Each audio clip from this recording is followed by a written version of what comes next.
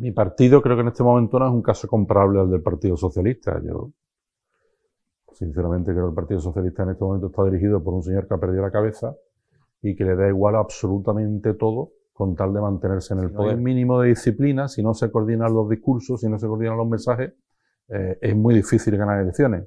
¿Eso a quién les pasa? Pues a partidos como Podemos, eh, que parecen una jaula de grillo más que una fuerza política, donde cada uno termina diciendo lo que piensa, pues al final eso el electorado te lo castiga.